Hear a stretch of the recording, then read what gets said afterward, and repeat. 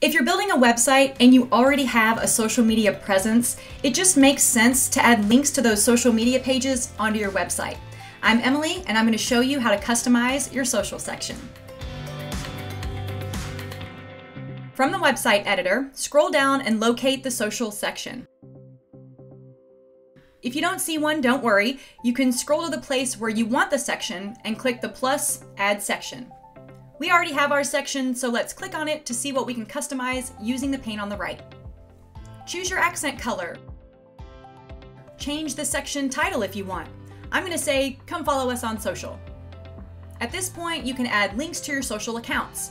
If you aren't sure where to find the link, go to your profile page and copy the link from the address bar. Here, I'll show you for Facebook.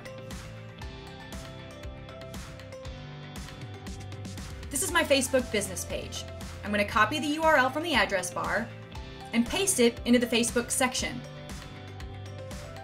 Looking good. Notice how the Facebook icons show in the social section.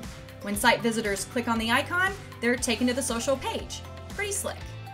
That's it. That's how you customize your social section. I'm Emily. See you next time.